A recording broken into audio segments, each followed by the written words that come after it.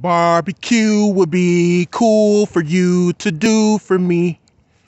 Barbecue in a park or on top of the sea, but I can swim though. Maybe you could give me a boat to row. Maybe I could dance with your soul. Maybe I could be someone on top and not below. But what if there's people stuck in a rut and they deserve to uh, come up for breath? And if I am in a place where I am in a sweet scent environment while there's other people suffering, maybe that wouldn't be the greatest thing if I couldn't relate to people with ill fates.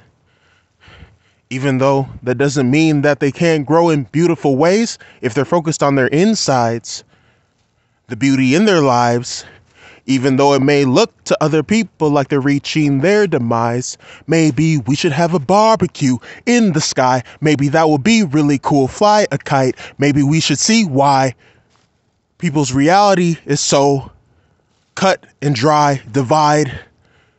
Instead of being open to the flow of the ocean, being open to the flow of the ocean, being flow open to the flow of the ocean, being open to the flow of the ocean oceans, motions will take us in a rise of tides, but then it will go low.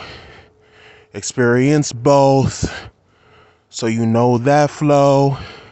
So you know that flow. So you know that flow that goes which way, which way will it change today? So you know that flow that boats try to wide, try to ride those waves. Wide are their graves, wide are their graves, wide are their graves.